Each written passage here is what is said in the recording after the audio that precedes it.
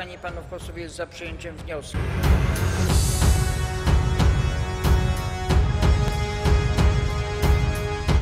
Jesteśmy w symbolicznym miejscu, mówił o tym e, Tadeusz Zwiewka, zaraz będzie mówił e, Paweł Olszewski. E, To taki obraz rzeczywistości państwa PiS. Czyli miejsce, które powinno być już, nie powinniśmy tu stać, bo tutaj powinny jeździć samochody, tiry. Ten odcinek jest piątki bardzo ważnej drogi, którą zapowiadaliśmy e, długo i która była długo budowana i tak naprawdę miała być teraz ukończona. Co widać za nami, to Państwo lepiej widzicie. E, Niczego nie ma. To znaczy to jest cała polityka, obietnice, zapowiedzi, plany, programy, natomiast rzeczywistość brutalnie to weryfikuje i w infrastrukturze najlepiej to widać.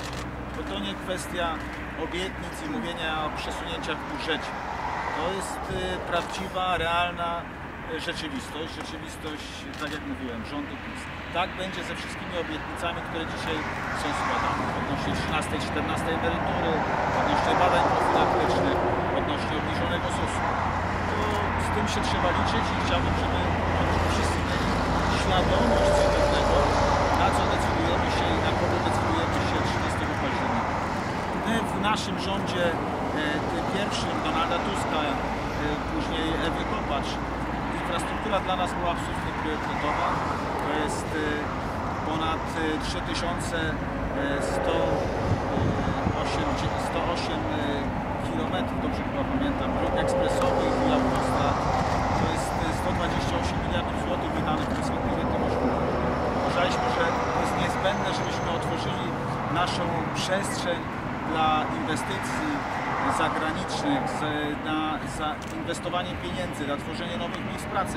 Infrastruktura to też, to też praca, to też możliwość komunikacji, to skracanie dystansu. I dużo nam się udało zrobić, to dzisiaj widać. Ale nie może być tak, że następny rząd nie podejmuje tego wyzwania. Nie mówię już o tym, że powinni dalej inwestować, rozstrzygać przetargi, budżetować, korzystać ze środków europejskich. Nawet te rzeczy, które zostały im zostawione, nawet te rozstrzygnięte już przetargi nie są w stanie ich zrealizować.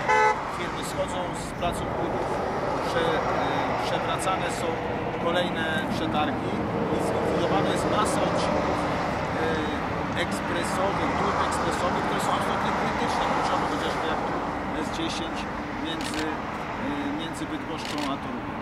To jest taka władza. Władza obietnicy, władza wielkich słów e, w kampaniach wyborczych i władza braku ich realizacji po wyborach.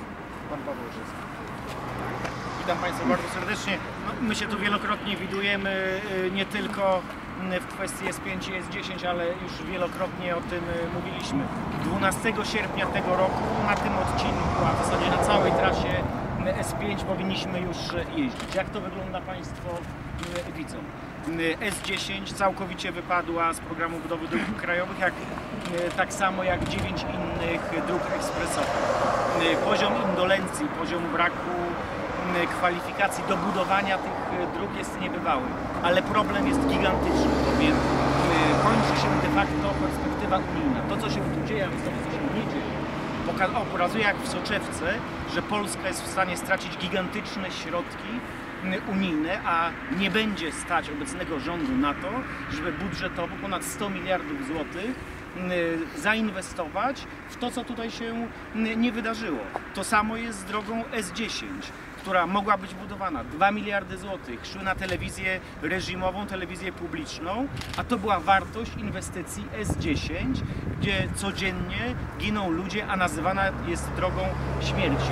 My jesteśmy oczywiście po rozmowach i program budowy dróg krajowych, który Rada Ministrów z obecności pana przewodniczącego, ówcześnie ministra spraw zagranicznych e, Grzegorza Schetyny 8 września 2015 roku został przyjęty przez rząd Prawa i Sprawiedliwości został zdewastowany.